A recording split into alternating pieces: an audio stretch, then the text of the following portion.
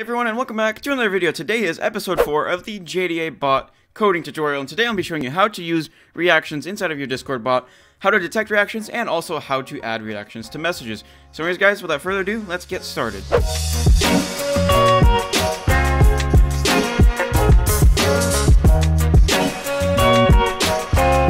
Let's get back into Eclipse just like we left off in the last episode. Nothing's really changed since last episode, everything is exactly the same as we left off. But today we're going to be adding a few more classes, mainly just one more listener. In last episode we learned about listeners and how to use them properly, and this episode we're going to be continuing on with that and creating a new listener to listen for reactions. But anyways, in this episode we're going to be detecting when a user sends a message, and then when the user sends a message, the bot is going to add an X kind of reaction to it, and then if the user clicks the X, then it'll delete the message. So I'll guide you exactly how to do that in this video. So let's get started. So basically we're going to go back into our project here. Now we're going to have to create a new class in a second. So let's go back into our project listing here and under this events package, we're to create a new event for guild message received events. We're to be detecting a new event. So right click on this, click class, and I'm just going to call it uh, guild message and then received. Uh, we typed that a lot.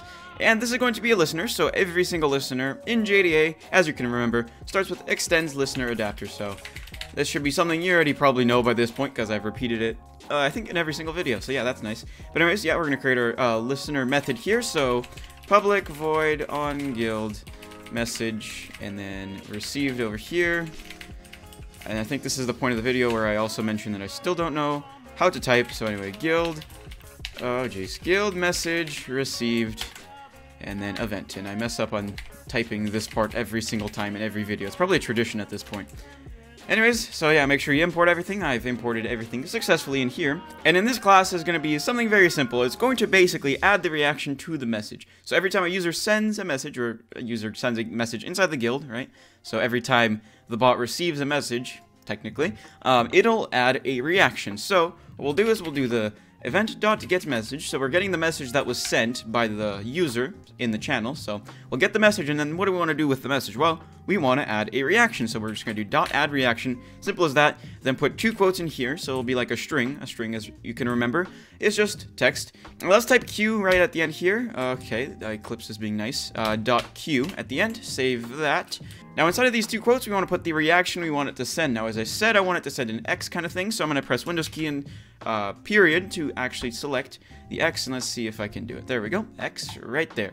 And just save it as UTF-8, as you remember. Uh, it always does this in Eclipse. So now, at this point, it'll add a reaction to the message that we send. So now we have our listener ready. We just have to register our listener in the main class. Remember, don't forget this, otherwise your listener will not work. All this code won't work if you don't register it. So, go back to the television class, and then we're going to create uh, a new .add event listener thing here. So just JDA.add event listener, and then we'll do new, and then we'll call it whatever it's called. So in our case, it says guild message received event.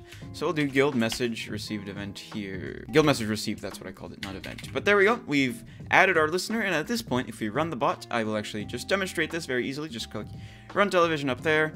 It'll open our console. Uh, I'm going to drag it just down here and our bot is successful. So now if we go to our test channel, by the way, like uh, I've had people like get the bot token. Uh, well, of course I gave it away, but people have done some interesting things with the bot token, but I cleared that out because I uh, don't want that on the video. But anyways, just gonna type F and you'll see that it adds a reaction. Now what I want to do now is I want it so when you click the reaction, it'll delete the message. Now you want to make sure that the sender of the message, so basically me, is the only person that can delete the, the actual message with this. So uh, for now, we've got this, but it won't do anything. So let's add the listener to detect for when a user clicks on this. So we'll do that.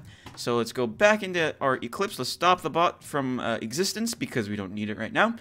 And let's add another listener. So this listener is going to listen for when a reaction is added inside of the guild. So as you can assume, it's probably going to be called guild message reaction add. And that's the event we're going to do. So guild message reaction add and we're just going to call it that. And remember, this is a listener, so we're going to have to extend listener adapter yet again. And then the event you want to use inside of here is going to be uh, public void on guild message reaction add. It's kind of long, and then this next part is even longer. So guild message reaction, and then add, and then event, and then event. A lot of events, and there we go. So now we've got our guild message reaction add event. These naming schemes are very long, but you know exactly what it does. So now what we want to do is we want to detect what kind of reaction the user clicks. So what we'll do is we'll do an if statement because if statements allow you to check for things. As we've done before, we're going to check for a condition here. So what we're going to do is we're going to do, event.getReactionEmote. emote. So this is going to get the actual reaction that they use. So if they click an X, this is going to basically return an X here. But we want to check the type it is. So we're going to do dot get name. And I know this is a little confusing. I'll explain in a second, but we'll do dot equals at the end to check that it uh, equals something. And of course, inside of here, we're going to put our X reaction. Windows helped me there. And save as UTF-8 once again. Okay, so basically, what this does is it checks if the reaction is an X. But the th confusing part about this, the naming scheme, is you get the reaction emote and you have to get the name of it, which is confusing because, well, the name is actually the reaction, but it's just how it is. So this is all you have to do to detect the type of reaction, and you can put any single emote here if you want to change it.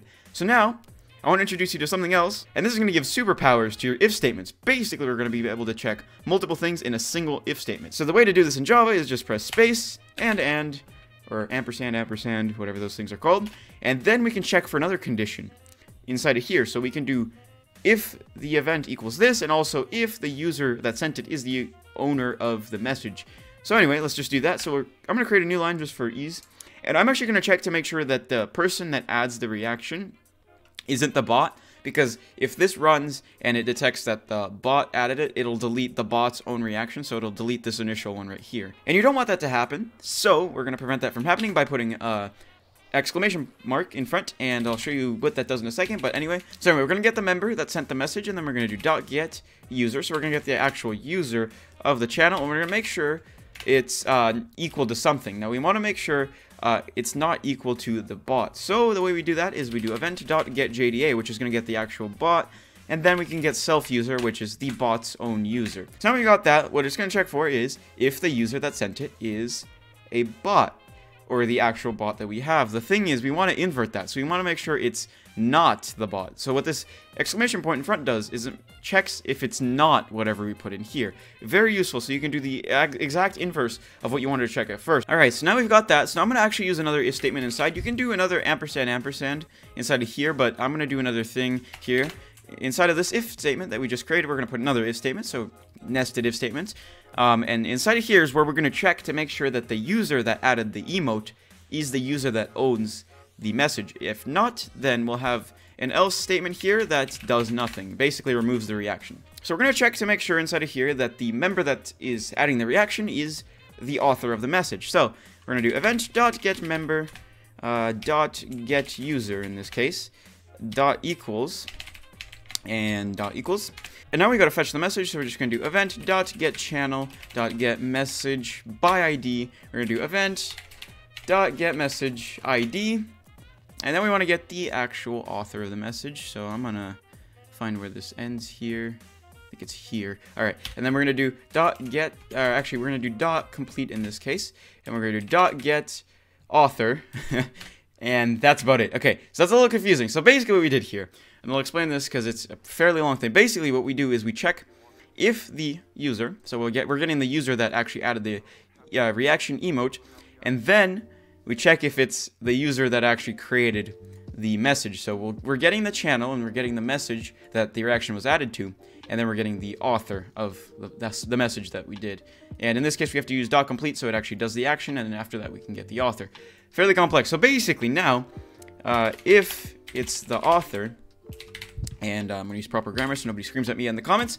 So if it's the author, we want to delete uh, the message. So we're going to do event.get channel, and we're going to do something similar as we did before. We're going to get message by ID, uh, because for some reason it wants to message IDs, but anyway, event.get message complete. So, oh, geez, nope. We want to want to do that. We want to go outside and do dot complete here. And then we want to do dot delete and then dot queue.